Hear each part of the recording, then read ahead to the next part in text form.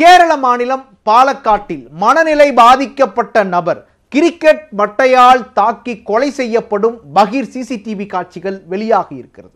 கொலை வெறி தாக்குதல் பின்னணி என்ன?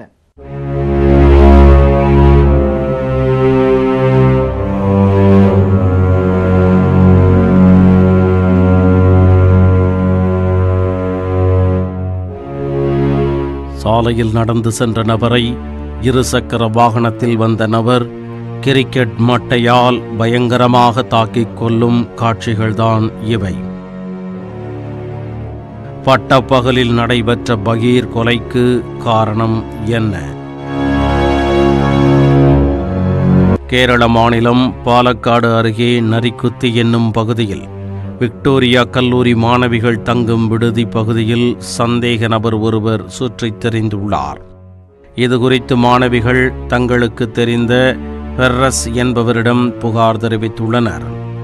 ஃபெர்ரஸ் தனக்கு தெரிந்த காவலர் ஒருவரை இருசக்கர வாகனத்தில் அழைத்து கொண்டு சந்தேக நபரை தேடிச் சென்றார்.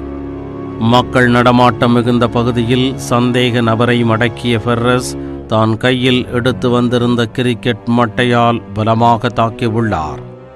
இதில் தலையில் பலத்த காயமடைந்த அந்த நபர் மயங்கி கீழே சரிந்து விழுந்தார்.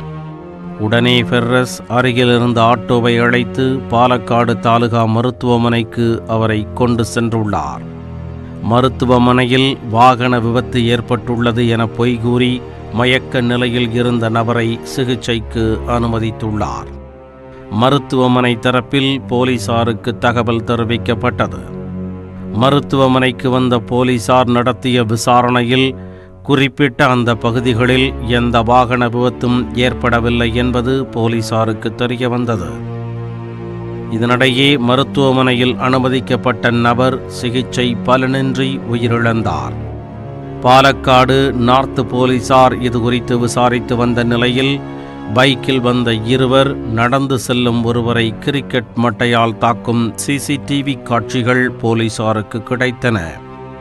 கிரிக்கெட் மட்டையால் தாக்கியவர் நரிக்குத்தி பகுதியைச் சேர்ந்த ஃபெரோஸ் என்பதும் தாக்கப்பட்டவர் புதுப்பள்ளியைச் சேர்ந்த மனநோயாளி அனஸ் என்பதும் தெரியவந்தது. ஃபெரஸை கைது செய்த போலீசார் அவரிடம் நடத்திய விசாரணையில் அவர் மனநோயாளி என்பது தனக்கு தெரியாது என கூறியுள்ளார். கை கால்களில் அடிப்பதற்கு பதிலாக தவறுதலாக தலையில் அடிபட்டு விட்டதாக விளக்கமளித்துள்ளார். இந்த நிலையில் அனசை கிரிக்கெட் மட்டையால் பயங்கரமாக தாக்கும் சிசிடிவி காட்சிகள் தற்போது வெளியாகி பெரும் பரபரப்பை ஏற்படுத்தியுள்ளது. கண்ணால் காண்பதும் பொய் காதால் கேட்பதும் பொய் தீர விசாரிப்பதே மெய். தீர விசாரித்து நிதானமாக செயல்படாவிடில் சிறை கம்பிகளின் பின்னால் கைதாகி நிற்பது தவிர்க்க முடியாததாகிவிடும்.